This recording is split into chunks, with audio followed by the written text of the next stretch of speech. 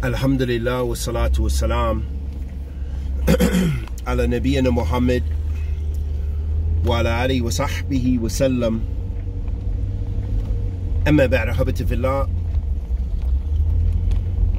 As we talked about countless times the importance of mannerisms and adab. And we talked about how that Allah subhanahu wa ta'ala has uh, that there's adab with Allah Jal, there's adab with the book of Allah subhanahu wa ta'ala by reading it and reflecting upon it. And the adab with Allah subhanahu wa ta'ala is that you worship Him and Him alone. Likewise, the adab of how we interact with one another and the adab of following the sunnah of the Prophet sallallahu alaihi wasallam. All of this is a part of the adab of the mu'mineen. And in a beautiful hadith of Rasulullah sallallahu alaihi wasallam, I believe it's a hadith of Abi Dhar, and I believe you'll find it in Tirmidhi, in which as it was related, Su'ila Nabi sallallahu alayhi wa sallam, Su'ila Nabi sallallahu alayhi wa sallam, an akthari ma yudkhal nas al jannah. The Prophet alayhi was asked, Su'ila Nabi sallallahu. So the Prophet salatu was asked, uh, on what is the thing that blesses that that allows for the people to enter paradise the most what will cause the people to paradise the most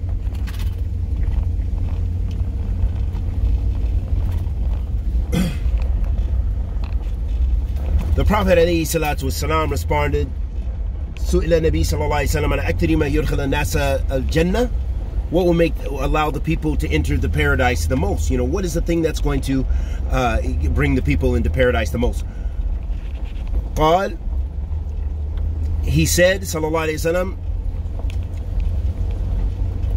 اتقوا الله وحسن الخلق so the prophet عليه الصلاة والسلام he responded by saying fearing Allah and good manners وسئل عن أكثر ما يدخل الناس النار فقال الثم وفرج and then the Messenger وسلم, was asked about what is the thing that will cause the people to enter the hellfire the most. And he said, the mouth and the private parts. This hadith of Rasulullah sallallahu alayhi wa alihi wasallam,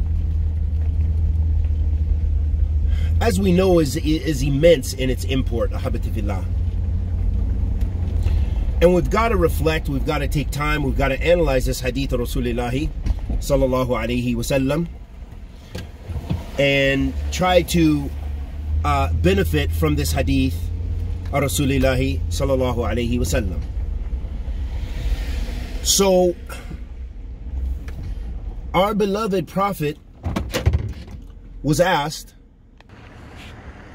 as we mentioned, سئل النبي صلى الله عليه وسلم عن أكثر ما يدخل الناس الجنة قال اتقوا الله وحسن الخلق وسئل عن أكثر ما يدخل الناس النار قال الثم وفرج So the Prophet صلى الله عليه وسلم was asked about the thing that will cause the people to enter into the uh, paradise the most. قال اتقوا الله وحسن الخلق Why do I love Washington State? This is why. فسئل say he said uh, fearing uh, he said he said fear Allah and have good manners when we analyze this part of the hadith of Rasulullah sallallahu alaihi wasallam we see that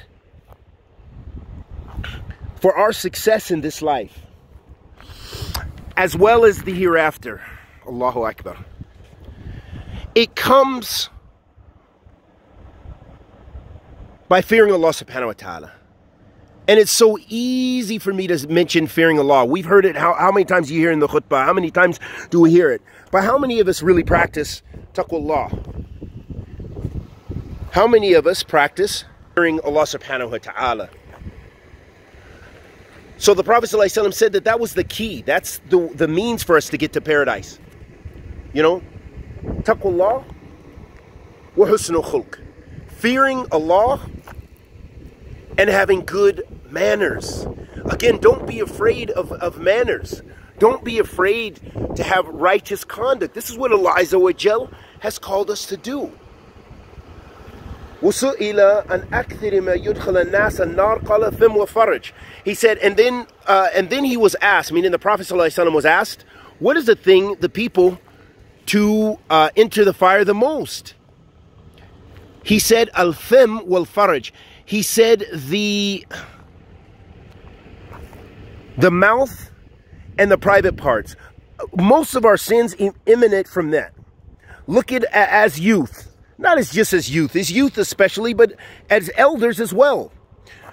Think about your sins. A lot of our sins pertaining to the mouth.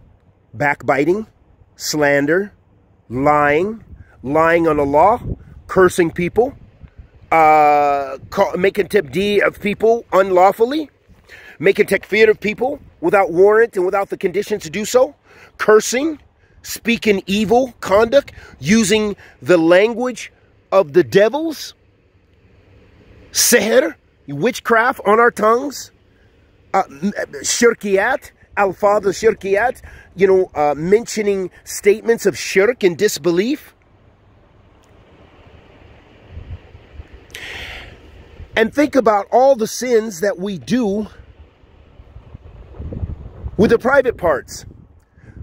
Akramakum Allah, masturbation, uh, uh, uh, zina, adultery, fornication, homosexuality, lesbianism, all of these things, they come from the shahwat and they come from often, uh, obviously, using the private parts, especially, akramakum Allah, when it's full zina or what have you.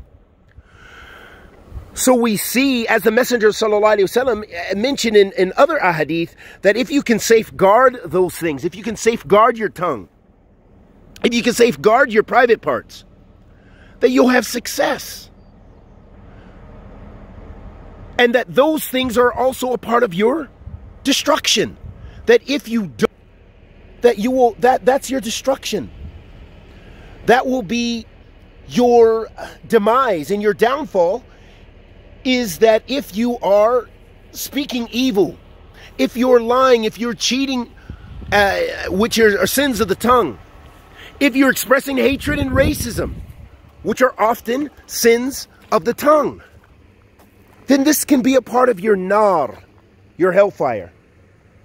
This is the tariq, tariq, the path and nar of the hellfire. And we know how the private parts can take us to Jahannam. And so we ask Allah the Almighty to help us safeguard our tongues, to help us safeguard our private parts, to keep us on halal.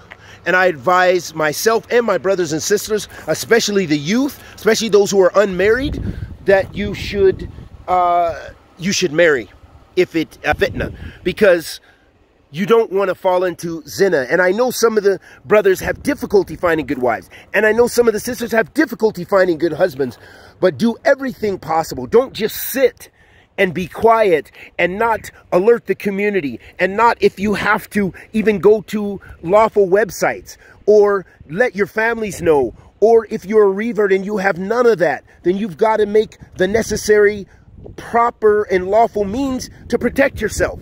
Save yourself. Ittaqullah mastata'tum. Fear Allah as much as you as you can. We ask Allah subhanahu wa ta'ala, the Almighty, to sector our good and forgive our evil. Wa sallallahu wa sallam ala nabiyyina Muhammad wa ala alihi wa sahbihi wa sallam. Allahu Akbar, Allahu Akbar.